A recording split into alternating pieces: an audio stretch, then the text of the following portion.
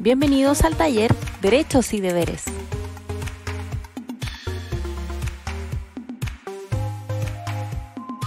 Temas a tratar, ley de calidad, plazos de prescripción, convivencia vecinal e instancias para resolver conflictos vecinales. Ley de calidad.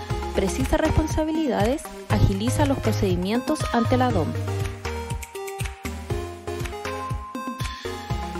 ¿Quiénes son los responsables de la calidad de la construcción?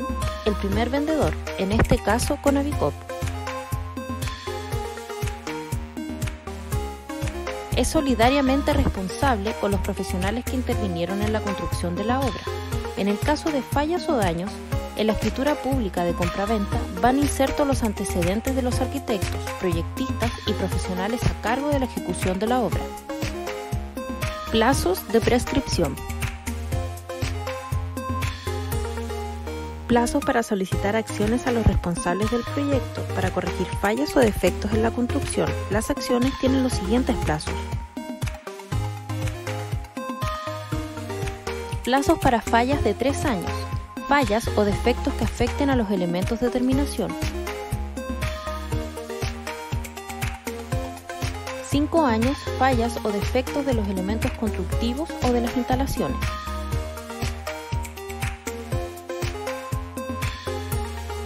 10 años. Fallas o defectos que afecten a la estructura soportante de la vivienda. Cajón desastre. En caso de fallas o defectos no incorporados expresamente en la ley de calidad, en los periodos antes mencionados 3, 5 o 10 años, estos tendrán un plazo de 5 años para su reclamo. ¿Desde cuándo se cumplen los plazos?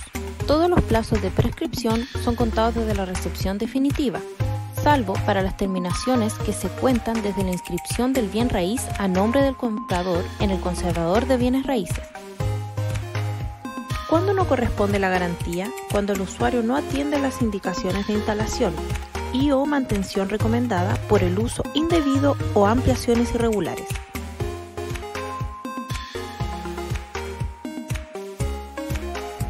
Convivencia vecinal. La convivencia vecinal es la necesidad de relacionarse con los vecinos a través de una comunicación constante, basada en el respeto, tolerancia y la ayuda mutua.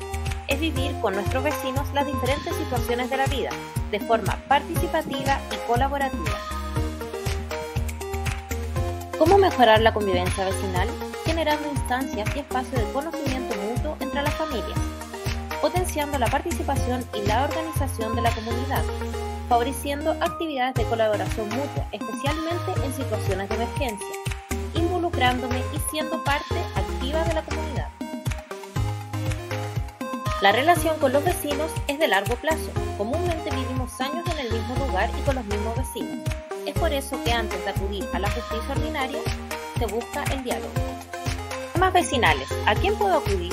En el caso de que el conflicto entre vecinos no se resuelva a través del diálogo, existen centros de mediación y arbitraje de la Corporación de Asistencia Judicial. En el próximo taller de comunidad organizada abordaremos temáticas de organización y participación con el fin de fortalecer los lazos colaborativos entre sus futuros vecinos.